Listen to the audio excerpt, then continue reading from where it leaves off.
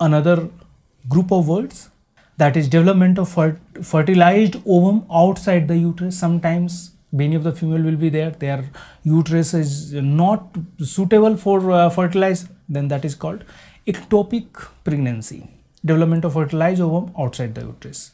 Plural pregnancy two or more fertilized ovum within the uterus. And sometimes it will be like uh, more than one we are getting. Pseudocyesis that is false pregnancy it looks like pregnancy in initial days but actually it is not pregnancy. Primipara primipara means first time pregnant. Next time we can say it is a multipara.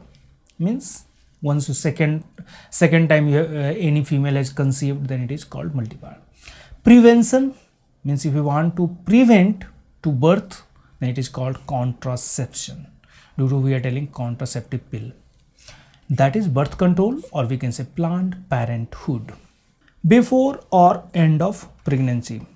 Like uh, you can say if uh, time period term is not completed and uh, pregnancy has or you can say whatever fetus is there that is damaged maybe sometimes intentionally sometimes suddenly or sometimes due to some biological reason or some medicinal reason maybe sometimes sometimes what will happen certain medicine you have taken and some reaction happen this all kind of will happen.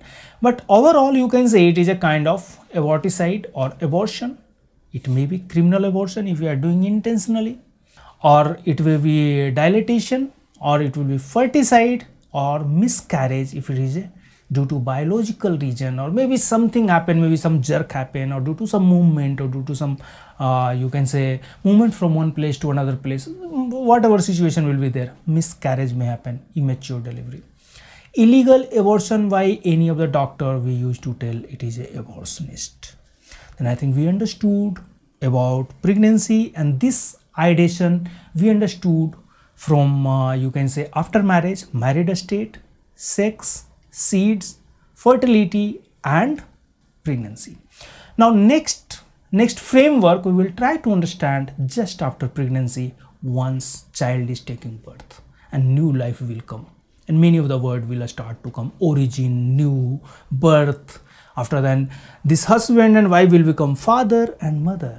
Earlier earlier they were boy and girl after marriage they become husband and wife now after take after birth of the child they will become